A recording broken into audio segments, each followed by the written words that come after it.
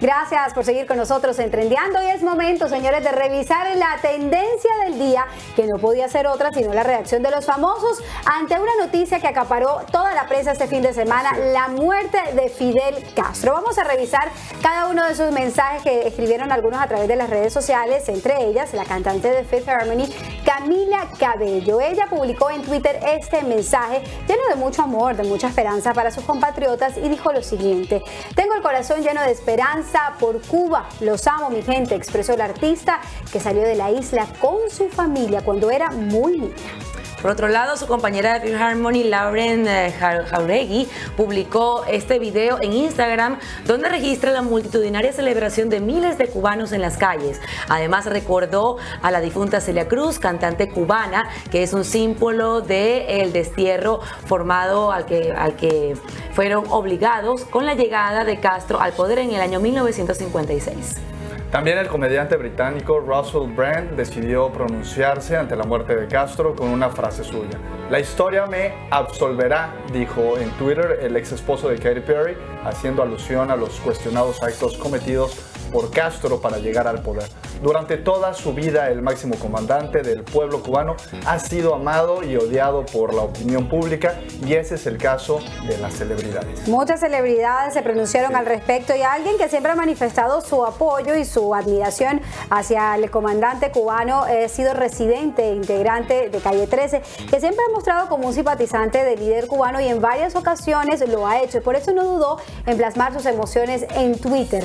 Escribió lo siguiente, hoy no lo que nos separa nos une porque todos de alguna forma nos afecta su muerte, escribió el puertorriqueño que siempre ha dejado ver esa ala socialista y comunista que, que siempre le inspira y por lo cual es muy polémico. Y de hecho muchas de sus canciones así lo manifiestan, mientras que Gloria Estefan escribió en un emotivo mensaje en sus redes con motivo a la partida de Fidel Castro acompañado de una imagen que retrata los horrores de la migración ilegal de la isla. Estefan aclaró que no se alegra del fallecimiento de Castro, pero sí de la muerte simbólica de las ideologías destructivas que él patrocinó y que están llevando al exilio cubano.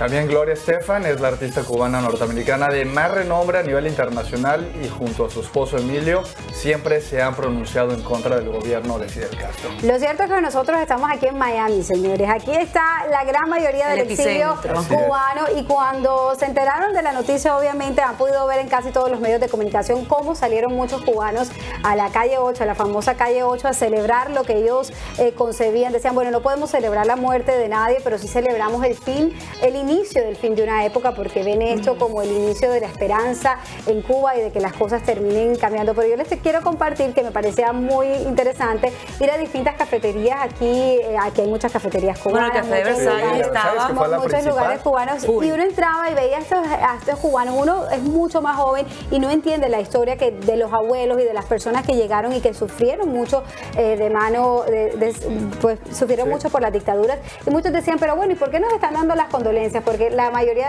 de, los mensajes a nivel internacional fueron condolencias al pueblo cubano. Bueno, ¿y por qué nos dan las condolencias si nosotros estamos de fiesta?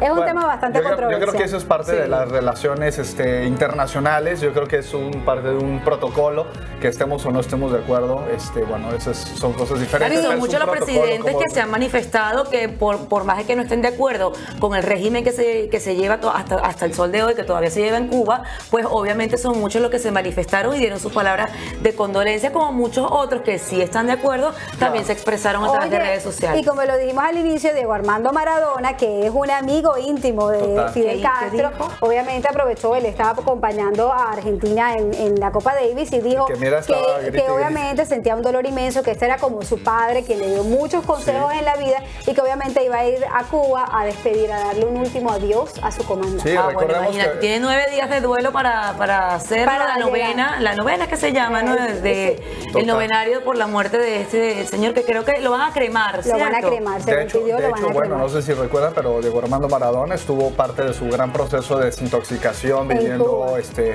en Cuba y bueno, siempre se hizo partidario por, por Fidel Castro, ¿no? En todos los, en todos los momentos.